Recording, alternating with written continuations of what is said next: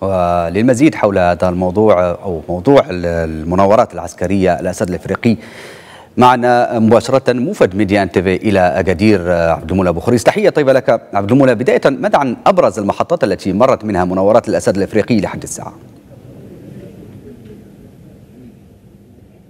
نعم مرحبا أنس مرحبا مشاهدينا الكرام. أتواجد بقلب قيادة المنطقة الجنوبية بالتحديد من قلب مركز العمليات المشتركة لقيادة القوات البرية المشاركة في النسخة السابعة عشره للأسد الإفريقي. من هذا المكان يتم برمجة وإدارة مختلف العمليات للقوات البرية في مختلف المناطق المعنية بهذه المناورات. على سبيل المثال يوم أمس تم الانتهاء من عمليات تدريب المنطقة المظليين وكذلك الإمداد الجوي حيث تسلم المشاركون المغاربة والأمريكيون وغيرهم من الجنسيات شهادات بهذا الخصوص في حين تستمر باقي المناورات بقطاع المحبس. على سبيل المثال كيفية العيش والمناورة في ظروف مناخية صعبة تتجلى في الصحراء ذات طبعا الطبيعة الجغرافية الصعبة.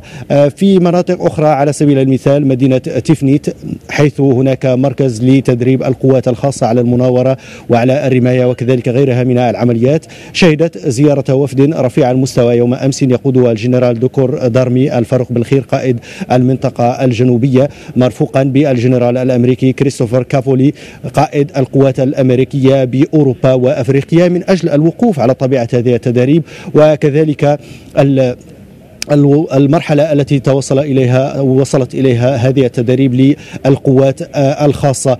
وقبلها بيوم شهدت مدينة أكادير كذلك زيارة لوفد رفيع يمثل قيادة المنطقة الجنوبية للباخرة الأمريكية USS هيرشل وودي ويليامز التي تعتبر من آخر صيحات الفرقاطات الأمريكية العاملة. مباشرة بعد ذلك توجهت إلى مدينة طنطان من أجل المشاركة في عمليات أو في أشغال آه، النسخة النهائية أو في فعاليات اليوم النهائي لمناورات الأسد الأفريقي مرفوقة بالفرقاطة المغربية.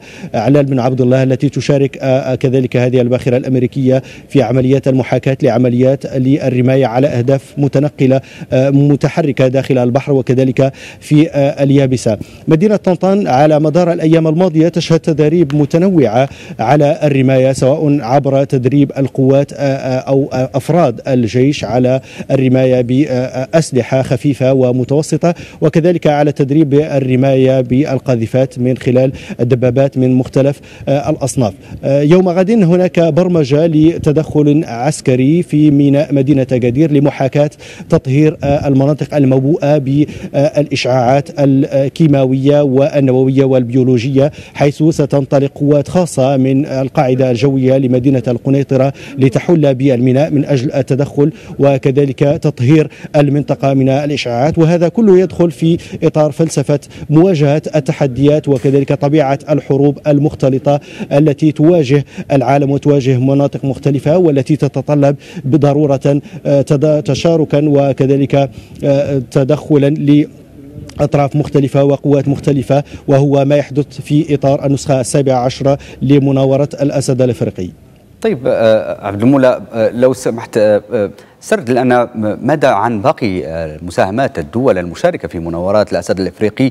وماذا عن الشق التطوعي الاجتماعي الخاص بهذه المناورات؟ نعم أنس كما أشرت هناك مشاركة متميزة لهذه السنة أزيد من 30 جنسية تشارك بشكل فعلي في هذه المناورات سواء عبر التخطيط وكذلك التدبير الوعدي لسير هذه العمليات أو عن طريق المناورة والتمرين على أرض المج...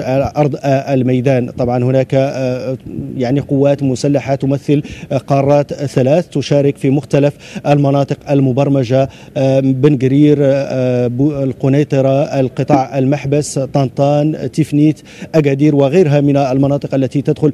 وطبعا أن العمل العسكري هو مرتبط ضرورة بالعمل الإنساني متمثلا في المستشفى الميداني العسكري الجراحي بمنطقة آه، تارودانت التي يعني التي تستقبل يوميا أزيد من 300 من آه، الأشخاص أو من المرضى من المنطقة. آه، تقدم لهم خدمات طبية في مختلف كذلك التخصصات الطبية أزيد من 15 17 تدخلا بالإضافة إلى مركب جراحي متكامل يتوفر على مختبر للأشعة والتحليلات البيولوجية وقاعة للاستشفاء تتوفر على أزيد من 30 سريرا يمكن تمديدها حسب الحاجة. طبعا وهو مناسبة أيضا لتبادل الخبرات فيما يخص الخبرات الطبية بين الأطباء المغاربة ونظارهم الأمريكيين الذين يشتغلون جنبا إلى جنب من أجل تعزيز هذه الفلسفة وهي فلسفة التعاون وكذلك العمل الإنساني. موفد ميدي 1 تيفي إلى أكادير زميل عبد المولى بخريس شكرا جزيلا لك على كل هذه التوضيحات.